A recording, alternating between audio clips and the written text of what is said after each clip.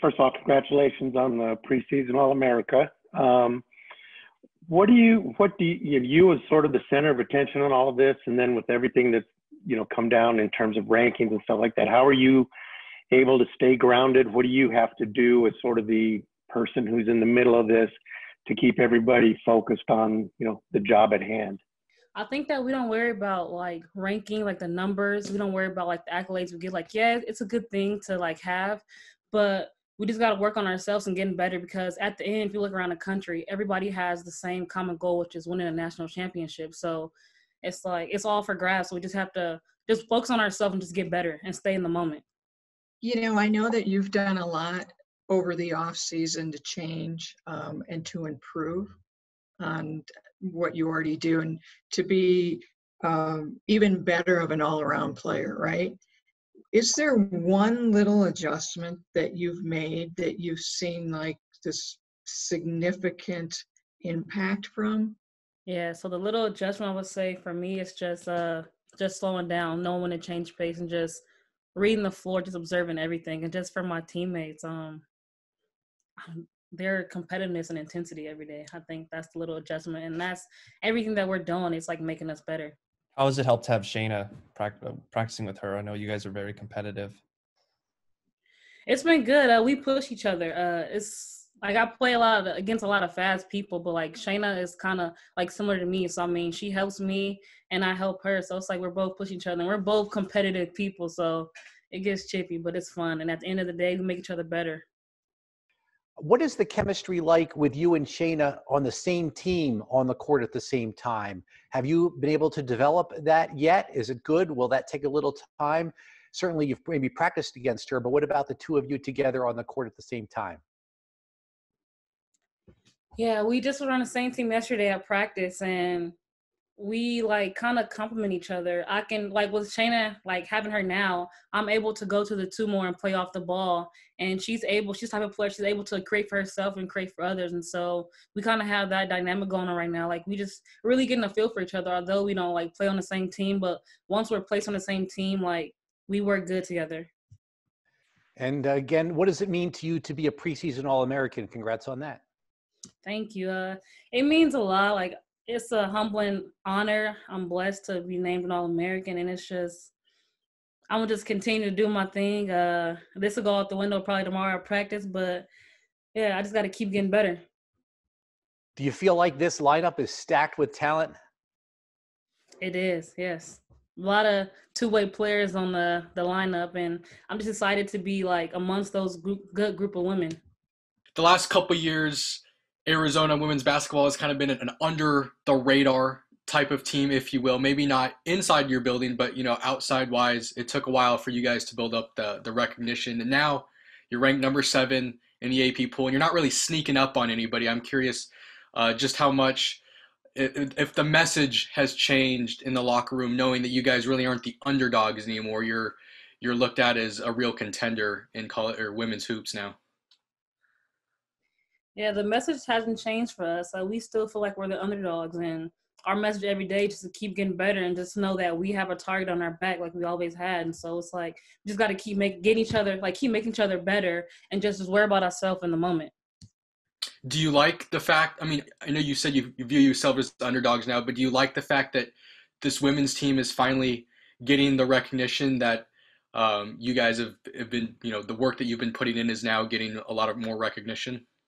I love it. It's about time. Uh, it just speaks testaments like our volume to Coach Barnes, the players she recruiting, along with the other coaches on our staff. So I mean, they're doing a great job of building this program up, and I'm just looking forward to continue with the years to come. I want to follow up, Aari, with something that Alec just talked about uh, of the team now getting the national recognition that you guys knew uh, internally how special it could be. Was there a moment where it all kind of started to come together?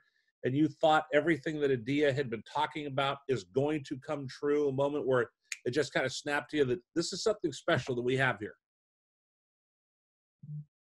I would say sometime last year, like when I seen my team just playing together and playing for each other and just competing against the other top teams in the conference, I was like, okay, I'm starting to believe what Adia was saying, you know, when I first committed here. And it's just hey, we I, I trust her, uh, and she trusts me as well. So it's like, hey, it all came true. Um, also had another follow up for you. Talk about some of the newcomers um, and what they bring and, and how they've meshed into this culture uh, that is that is growing um, and getting better. Yeah, it's just we're looking scary this year. It's just with the newcomers, they added the pieces that we needed over the past couple years to like be like an Oregon or Oregon State or a Stanford. Like, so I feel like we're more complete this year. But like Trinity, she adds that experience, she adds that toughness, and she's a heck of a rebounder. So, and that's something we've been lacking for the past couple years. So she adds that. And Derin, she's a tough player, plays beyond her years, especially as a freshman. She's a lefty and she's not scared of anything, and I love that. Shaina, she brings. She's a because she's competitive as well. She's a tough guard, and she can create for herself and herself and others. And she can also play on a defensive end. And Bendu is very athletic, very, and she does all the hustle plays. She's not scared to get her hands dirty. So I love that. And Marta adds another post, give us more depth, and so I'm just really happy at how we're looking right now. One last thing for Aari. I was talking with the baseball coach yesterday. He was talking about the baseball team is very grateful that they're finally able to get back out there and play after everything they've been through, cancellation of their season, COVID, being being uh, isolated.